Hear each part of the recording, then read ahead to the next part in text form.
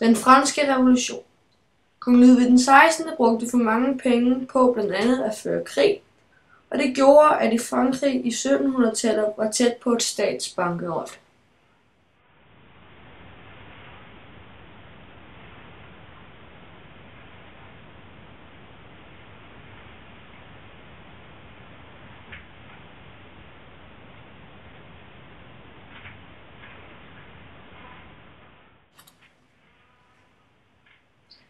I 1789 steg brødpriserne i Paris.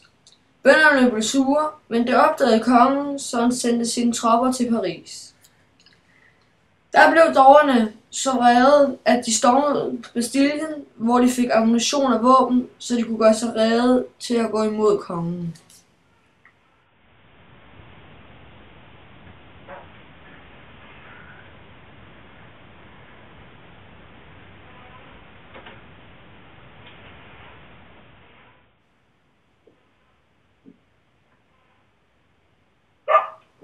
Oprøret spredte sig til hele Frankrig, og det førte i 1793 til guillotineringen af kong Ludvig den 16